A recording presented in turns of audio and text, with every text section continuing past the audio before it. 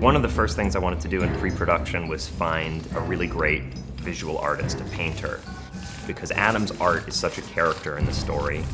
And I was lucky to meet this amazing Atlanta-based artist named William Downs. Just instantly fell in love with his work. It has this incredibly distinctive, kind of loopy, strange, kind of disturbing, but comical, fascinating shapes. And his art instantly felt like what I saw as kind of the tone of the movie. It's kind of like this dreamy feeling, so it, it gives you that kind of creepiness, and I think a lot of the scenes in this movie kind of fit that tone. And one of the things we really tried to do was show the growth of Adam's character through the, the expansion of his art and the expansion of his artistic ambitions. And then as the movie progresses, by the end he's working on this kind of monumental mural.